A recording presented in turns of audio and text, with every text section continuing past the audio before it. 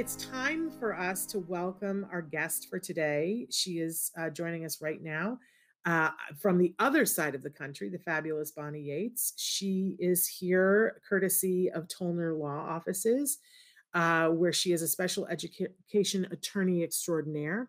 And we are so thrilled to have her back. We we haven't been able to meet with her for a couple of weeks. So Bonnie, welcome back. Good morning.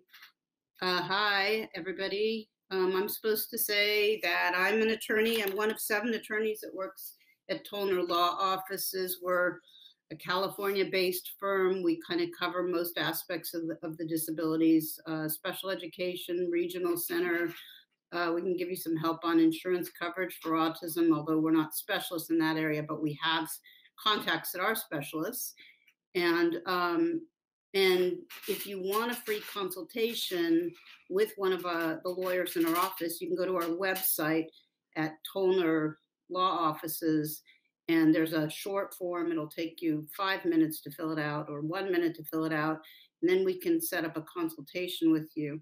We are giving general advice on the show. We are not giving advice about your specific legal problem, and we're mostly answering questions under California law because we're in California but IDEA is a federal program, so we also are giving you answers sometimes that are federal in nature.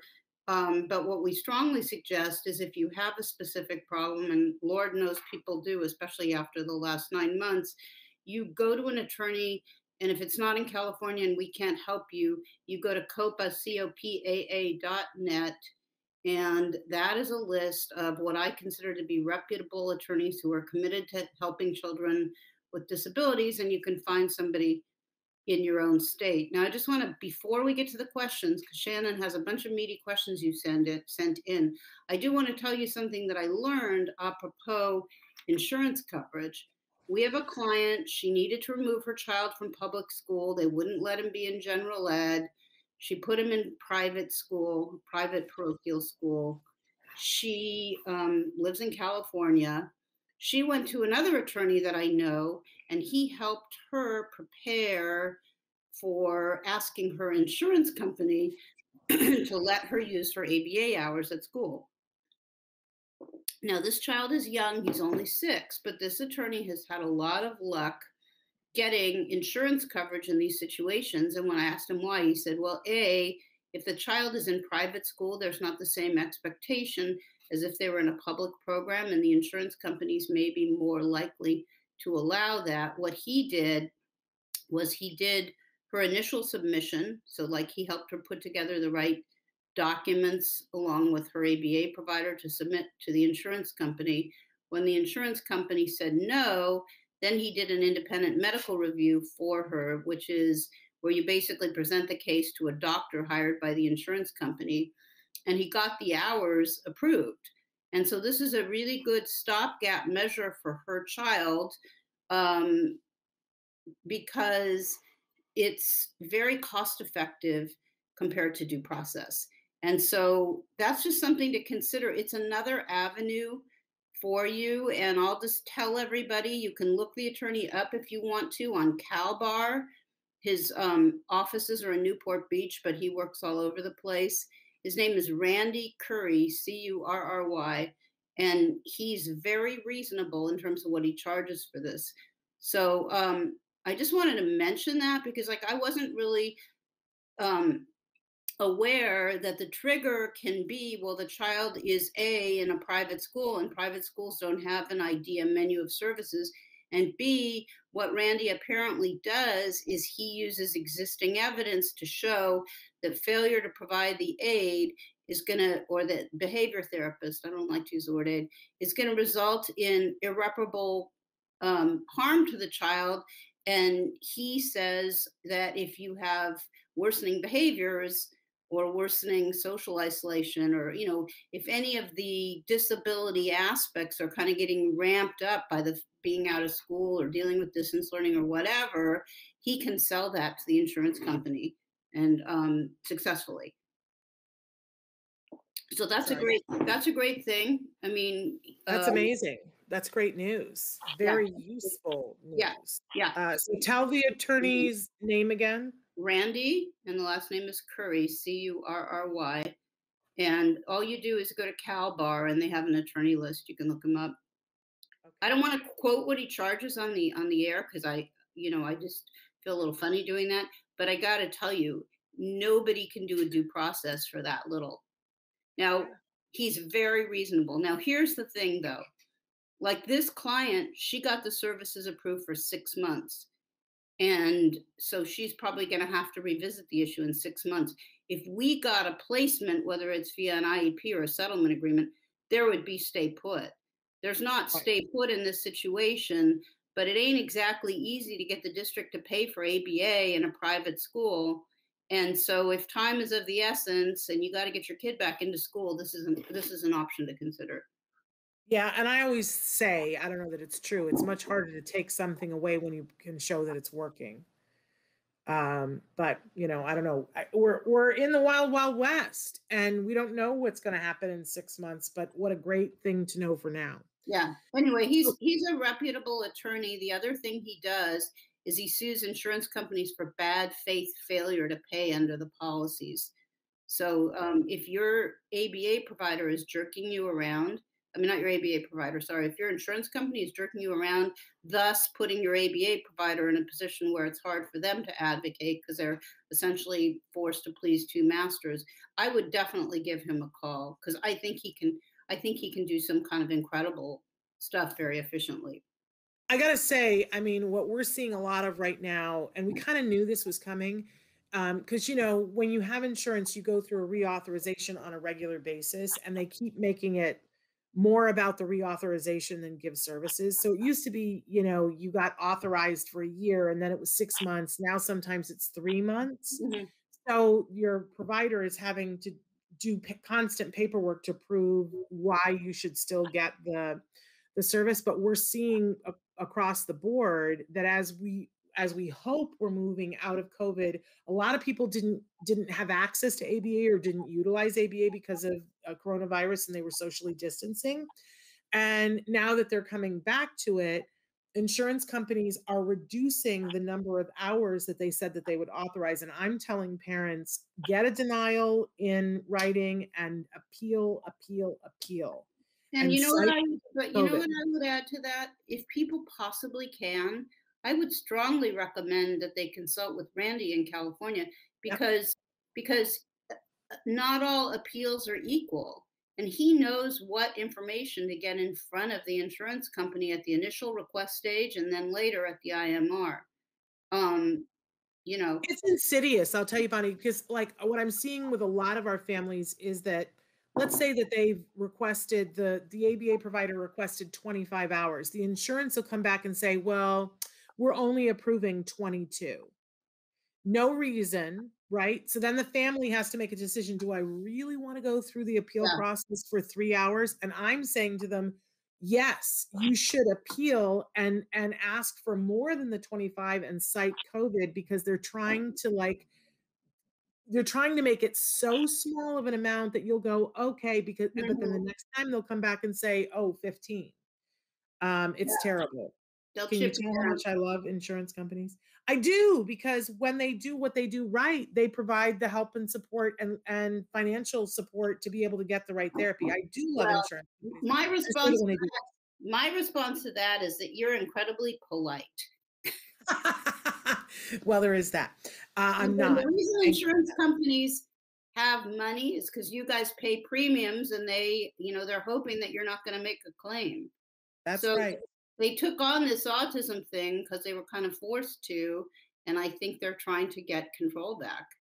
Yeah. Yeah they are and they're trying to they're really trying to utilize you know, where families are in covid and that's to me that's dirty pool but let's should we launch into some questions here bonnie? Yeah. you have questions i have answers Okay, great. I love that because I always theoretically. so, first question is school is saying we can't have ABA on the IEP. Can they really do that? If it's so effective, why can't we stipulate that it's how our child should learn? Well, you know, this was a hotly litigated issue because the IDEA says you can't um, cause a district to choose a methodology, and uh, they've they've hidden behind that. But I think if you have someone who can attend your IEP, who can make the case that ABA is the only way your child can learn, and you have a discussion about what process is implicated in that learning and why other types of learning don't work, they would have to give fair consideration to the idea that you needed ABA to learn um, and sort of try to get away from that methodology argument, which is a real problem in this context.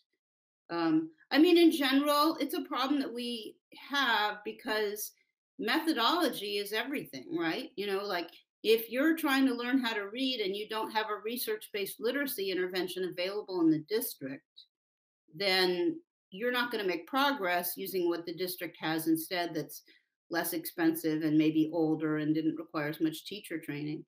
So you will run up against a methodology argument. And I think what you probably want to do is talk about what other things have been tried and weren't successful and why, and why this would be. And then if they say no, you make them give you prior written notice, and that's the basis of your due process. But, I have to tell you, this question was asked. Let me, last... let me just say, let me just yeah. say, it's going to be a cold day in hell before every child with autism has the ABA program in public school that they should have. Doreen Granpeesheh probably somewhere between 15 and 20 years ago, we were talking about this, and she said, Bonnie, it's not as if we don't know what works. Like we know what works. We know what works. And the rest of this is just a game. There's two ways they play it. They either say no to methodology or they say, yeah, you can have our district IBI. And then you get somebody in, you know, a psychologist in to look at that IBI and it bears no resemblance to having a CARD program. It's just, you know, you can you can take a marker and write IBI on my face and that doesn't mean it's it's a beneficial program. And that's kind of what they're doing with the IEP. Well, I have to tell you that the way this question came about was somebody asked this during Ask Dr. Doreen last Wednesday, and mm-hmm. Dr. Grant and I and Dr. Granpeesheh was saying uh, we were talking about it. I said when I had this happen, that you had said to me, "Listen, there's more than one way to get what you want.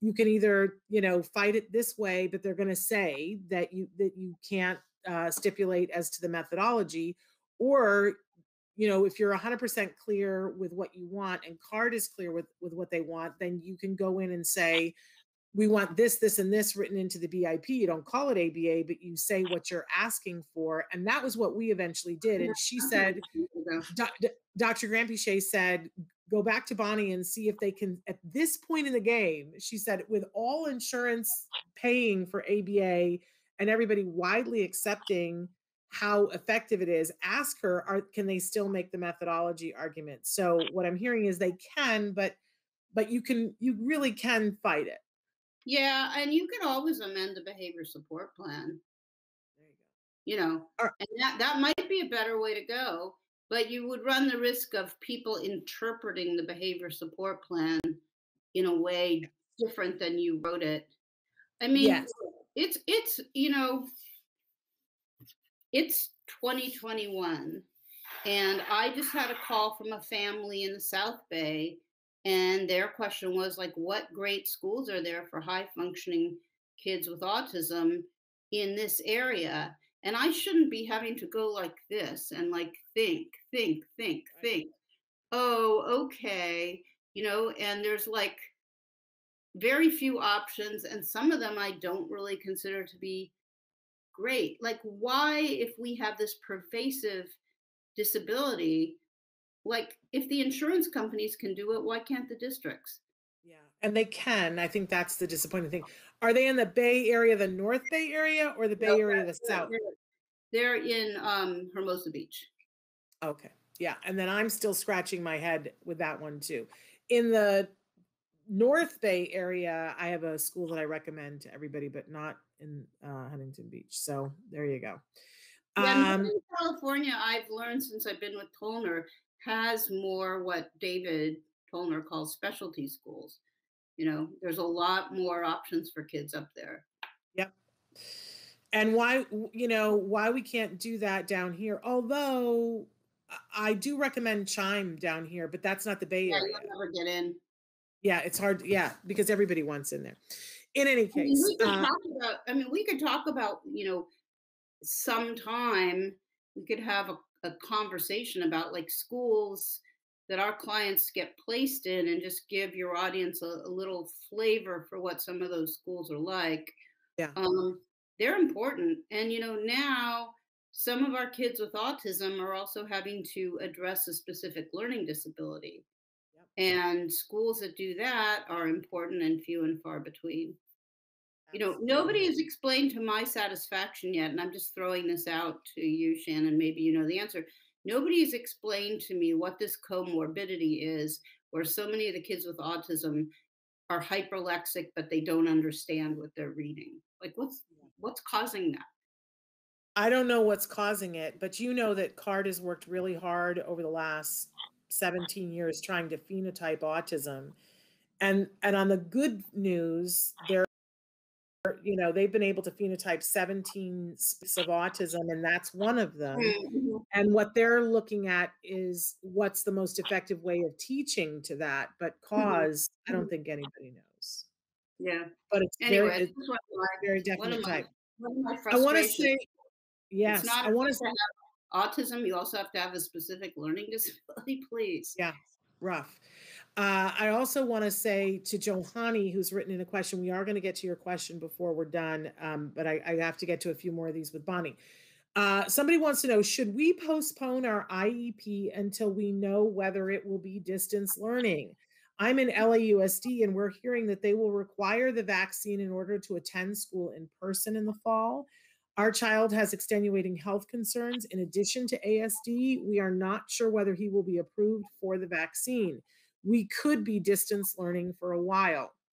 And I just want to say that since Austin Beutner made that comment, um, he's the the superintendent of LAUSD schools. He made a comment a couple of weeks ago about um, that they would be re- if you want your child to attend in person in the fall, that they would be requiring the vaccine. Within 48 hours, he walked that back because, as we pointed out here on the show, there is no vaccine that has been approved by the FDA as yet for children. In fact, for anybody under the age of 18. So, you know, he's assuming that that will be in place by then. So he had to walk it back. Um, but Bonnie, should they postpone their IEP and say we want to I don't later? so. I've struggled a lot with this question and, you know, in the process of trying to get ground under my feet the last nine months. I don't think I can say it enough. I feel I feel as um kind of blindsided by a lot of the things that have happened as anybody does, I think. So it occurred to me at a certain point that no, you don't want to postpone IEPs. What you want to do is you want to get together with them and tell them what you need and what you're getting and why it isn't working and ask them to provide it. And then if they say no, you've got a bad offer on file. So if you need to sue them, there's something happened during those months. It's not like, you know, it's it's useful depending on what your angle is. Like if you're planning, if you're of the opinion that the way you have to get what you need is through litigation with the district, um, you want bad offers that you can beat at due process. So I, I've been telling my clients to please engage with the district and tell them everything that's happening during distance learning and ask them to come up with a way to improve things oh because because it's not working. So have Yeah. that IEP, start the process. And I think we forget a lot of times, Bonnie, mm-hmm. that we can, you know, have an IEP meeting and have a plan, but if something changes or is different, we just call in a new IEP meeting. Exactly. Okay. So, uh, next question. My son has an ASD diagnosis. He's five and attending kindergarten online this year. We had completed our IEP before COVID and he had speech and OT services. It has been a nightmare. It took forever them to figure out how to do speech online and they never really figured out the OT. Now they are rec- mec- making recommendations for the new IEP and they are removing OT. Their rationale is he did okay without it. Please tell me this is as stupid as I think it is. You can invoke stay put Okay. and say that you, you don't agree and and you don't see how they could know unless they're going to reevaluate him and compare where he was in terms of his benchmarks at the last recording period to now. I mean, that's just a wholesale, not very clever, not very sexy, taking advantage of the situation, just like you were saying the insurance companies are saying, well, you know, you did fine, so so no, I that's wrong and you should object to it and you should fight it. It's so demoralizing, I think, for all of us to go, really, while we're down, you want to do you want to play games? I'm But still here, I'm still in this place. Yeah. But Yeah. I I will say it's an opportunity for us as parents to stand up, exercise flex flex our muscles, right? And exercise the things that we've learned and go, no, not on my watch. You don't have to have a nervous breakdown over it. You don't have to get upset. You just you just say, no, we'll be exercising the stay put. And if and if you want to, as Bonnie said, if you if you feel that he doesn't need it, where's the evaluation? You know, like Where's put the them, yeah, where's the data? And then Okay, once next they, question. then once they tell you that, Shannon, I should have said this, you ask for an. IEE. Okay. That independent educational evaluation that they have to pay for. Exactly. Yeah. Yeah. Okay. Uh, we are starting the process of asking for comp ed, compensatory education this summer. Can you outline the steps of how we pursue this? My hope is to get them to pay for a one to one tutor for the summer. My fear is they will offer a summer school in person with masks. My son is in fourth grade. He has missed so much academically this year, and I am concerned that a summer of masks will not come close to getting him caught up. Uh, they don't say whether they're in California or another state, do they? They don't. I mean, you know, here's the thing about compensatory education. The idea, the IDEA, explicitly recognizes it as a remedy for a failure to provide FAPE. And secretly, I think all the school districts know they didn't provide FAPE from at least March 11th until the end of ESY. Um, so you can make a case for comp ed based on that, but unless you're unless you're going to be able to sue them and force them to the negotiating table, I don't know that they're going to give it to you. You might be able to tell them you'll you'll enter into a settlement agreement with them to waive claims for the COVID time period if they give you certain things that you want. But typically, the good compensatory education um, results are after a due process filing. And I don't mean to be like one of these people, you know, who's like in la la land um, and assuming that everybody can bring a lawsuit. But the, the truth of the matter is, if you have a good case, you really can. If you, if, at least in California, you can go to the OAH website. There are free or low cost attorneys, and you should, at a bare minimum, be discussing your case with an attorney. They won't charge you. And even if you're not going to use the attorney, you'll get a lot of really good information in terms of how to present your case to the school district. But we've talked about this before on the show, and it continues to be true. Uh, in really all aspects of litigation in the United States, people are much more successful when they do these things with lawyers. And, you know, I don't like that. I would rather my job become unnecessary, but that's the reality. And I feel like I need to share that with you, especially if there's a vehicle for you getting someone to represent you, you know, free of charge. Why, why wouldn't you do that? Yeah. You know? I think people have fears, and, and our fears are always that, you know, what if I can't afford it? What if, you know, uh, because then it will feel extra bad. But I Well, will say the this OAH list has has low cost and no cost referrals. Okay. so is that on the copaa.net? No, Where that's is that? California Department of Education. They have an If, attorney. you, if you're not in California, though, uh, go to copaa.net. no, I don't think. Well, to get an attorney, yes, but if you're specifically interested in a free or low cost attorney, um, I would contact your state Department of Education and see if they maintain a list. Okay, we did have somebody uh, wrote in and said, "What is an IEE and what does it tell you about your child? Is the psychoeducational assessment different from an IEE?" No, it isn't. Um, it's what's different is is this: if the district does an evaluation and you um, you disagree with it, then um, if you can show what's wrong with the evaluation, you can write the district a letter and ask them to pay for an outside evaluation at district expense. So when we do well in these cases, what we'll get is an agreement to provide not only just the psychoeducational evaluation, but speech, functional behavior, OT, you know, and and that's a real game changer once there's some evidence out there that's not the district's evidence. So, so again, a, the the IEE stands for Independent Educational Evalu- uh, Evaluation. And that is something that you can ask for, you have a right to, and the district has to pay for it.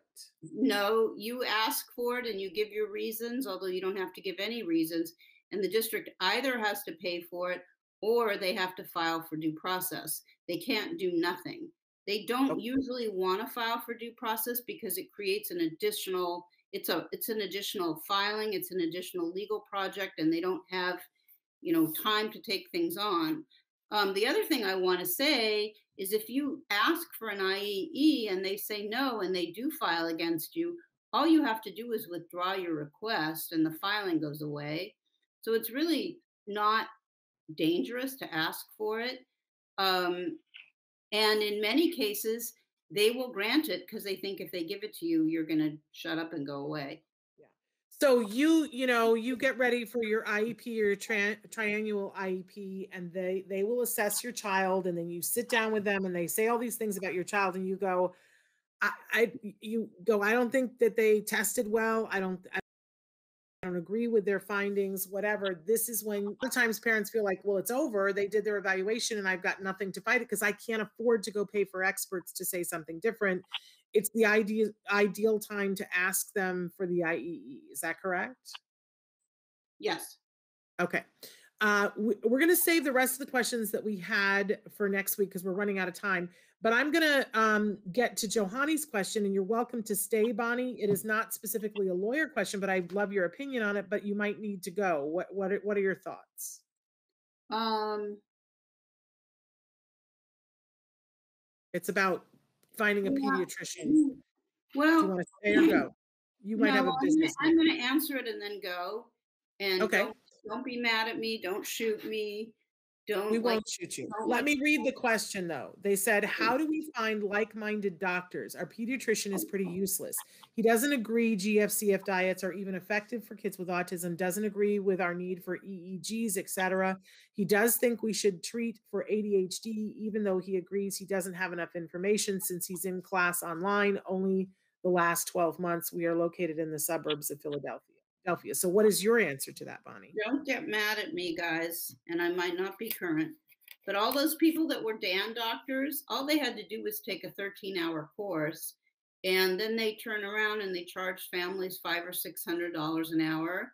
And um, I felt like a lot of them were disreputable and profiting on the situation. I am not anti science. I am not anti vaccine, although I recognize that in some cases there may be a need for a medical exemption. What I saw was not a lot of good.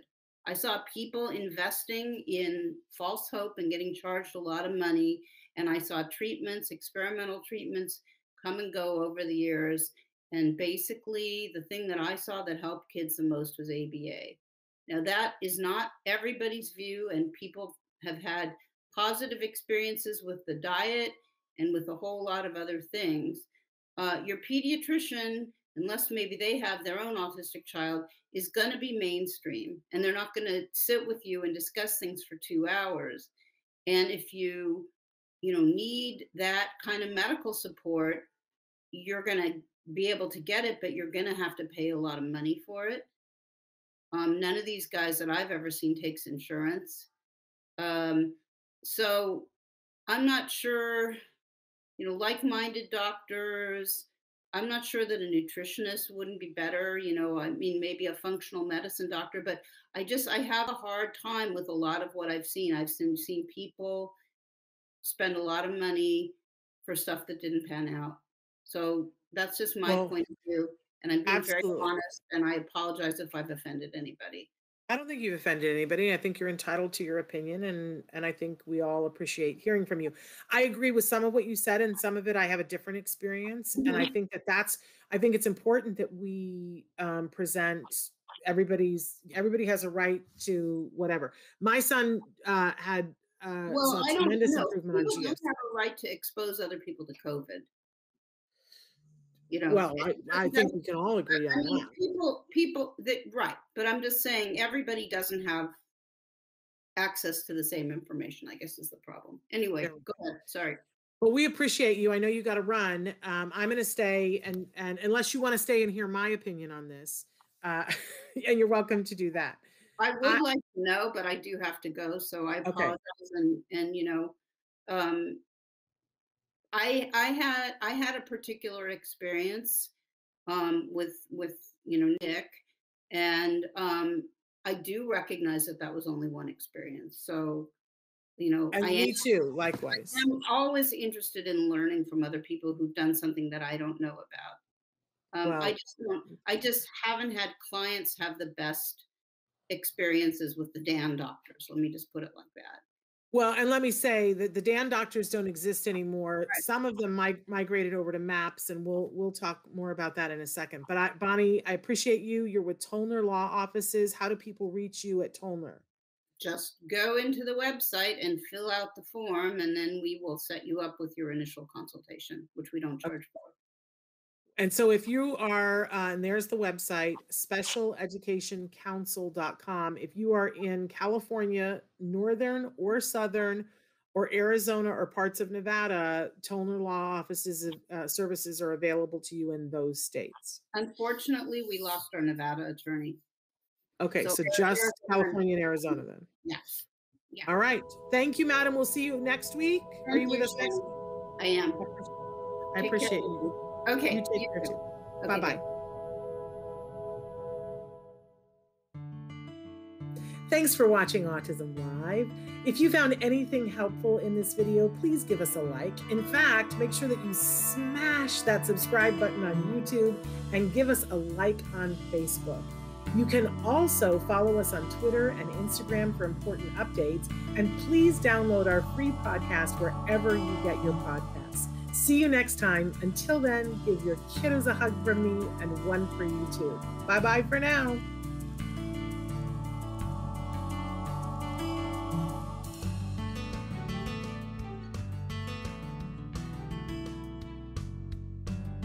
To subscribe, click here.